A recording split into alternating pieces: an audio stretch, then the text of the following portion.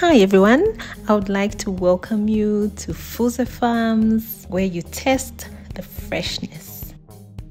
So you guessed it right, we are harvesting again on the 26th and 27th of September. For those that have been wanting to visit the farm, the farm is open. You can use this opportunity to come and buy the fish from us and see what you wanted to see before you start your fish farming project. So we are in Lusaka West on Mungwi Road, 30 kilometers from the main post office. If you can't make it, we can still deliver to you. So please don't miss out. Our fish is very tasty and fresh from the farm. And for those that have been buying from us, thank you very much for your support. We really appreciate it. And for those who have not tried our fish, we're inviting you to give it a try.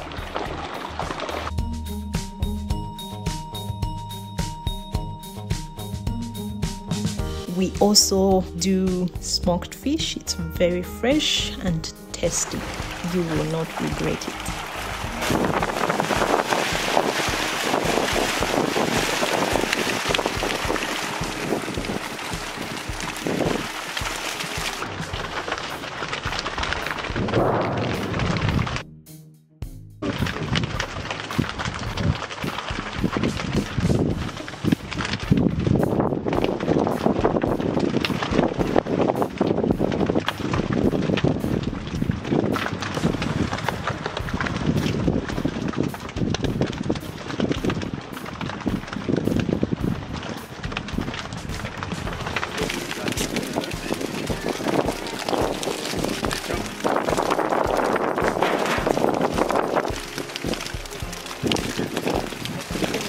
If you like fish farming and you would want to go into fish farming and you like the information, please make sure you like this video, share, subscribe, and don't forget to turn on your notification button. So, bye. See you on Saturday, 26th and 27th of September 2020. Did I mention we also have so much fun?